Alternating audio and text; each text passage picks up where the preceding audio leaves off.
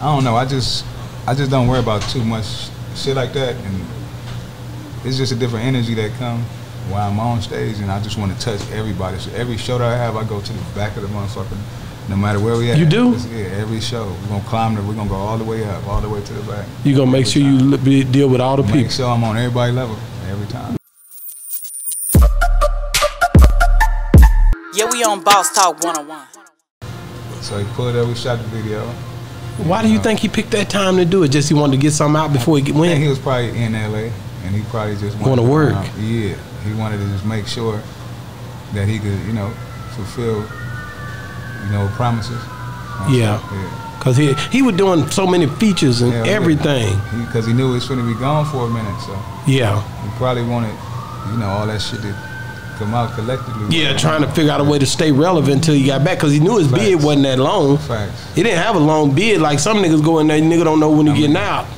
In the entertainment, a year away, that's a long time. Do you think that like it's a plot against you guys? Like you see how many times people be like like the artists catch Yeah. out Boosie on side of the road hollering like nigga I'm they let he's me out targeted these by cuffs, the nigga I'm police. going in. They got me pulled over again.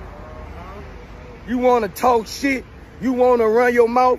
You want some gangsters front your motherfucking house? We'll set this bitch off. Nigga, you know what? Do you think it's something like like a, a, a special kind kind of way that they treat y'all in a bad way?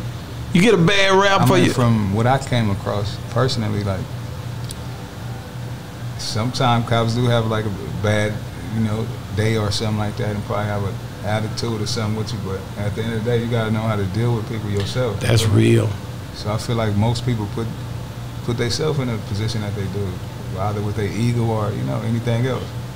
How do you stay so damn level headed, man? I don't like going to jail. I don't, I don't, like I don't want to go to cops alone or jail. nothing. Yeah. You know, I'm the same way, and I had the same experience being one that been through a lot. You know what I'm saying? Like a lot of time, I remember one night I got jiggy with the laws. I'm like, nigga, what you doing that to him for my partner? That nigga told me, uh, you move before I put my foot in your chest. Yeah. And I was trying to flex, you know what I'm saying? The next thing you know, I'm in the back of the car too. Yeah. I'm being so what you saying makes sense. And I'm going to jail like, damn, I should have just shut up, you know? Like I'm in the car with my boy. This nigga, he looking at the cop crazy.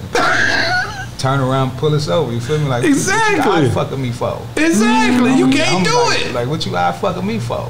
Like yeah, I'm gonna put your bitch ass in, in the back of the car. He said, put your daughter in the back seat with me and see what happens. then." Bitch, Put him in the back of the car and whooped his ass, bro. You heard me? Wow. And then It's a black cop with me. It's a white cop with him. So the black cop right there, I'm like, man, you gonna act like you don't see that going on?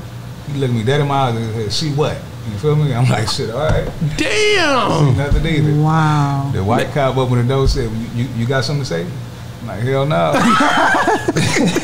They kind of got the leverage on you. You know what I'm saying? Facts. Man, and then the reputation that they hold, you think a nigga get a clue, right? You Man, just get this shit over with. so how how do you like like performing like in, in front of masses of people, man? You've had to do that. Yeah. You know what I'm saying? How I talked to my one of my cats, man. Shout out to Hotboy Wes. He was like, man, these folks make me nervous when I go. He was young, you know, he a Yeah, youngster. right. He like when I go out there and look, man, that crowd, man, it's it's a lot of people out there. I said, what the? He's like Gucci there with me.